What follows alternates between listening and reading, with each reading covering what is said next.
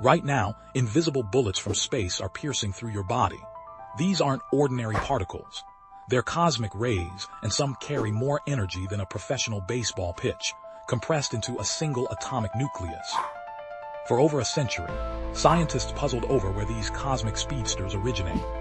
We now know that most come from supernova explosions, those spectacular deaths of massive stars. When a star explodes, it releases shock waves that accelerate particles to nearly the speed of light, turning them into cosmic missiles that travel across the galaxy. But here's where it gets really wild. Some cosmic rays are so powerful that supernovae can't explain them. These ultra-high energy cosmic rays pack the punch of a tennis ball served at 100 miles per hour, all in a particle smaller than an atom. Scientists believe these cosmic monsters come from even more extreme sources, like supermassive black holes and colliding galaxies.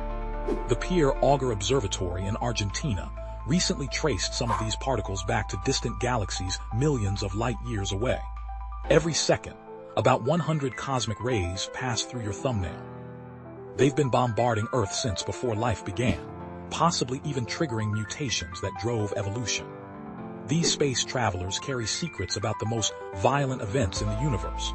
What other cosmic mysteries are raining down on us right now, waiting to be decoded?